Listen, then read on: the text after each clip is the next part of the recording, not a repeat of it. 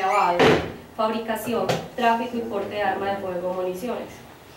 La orden de captura obedece a la Fiscalía 264 seccional, viene, que viene adelantando eh, una investigación por los delitos ya mencionados. Los hechos ocurrieron el día 27 de noviembre de 2016.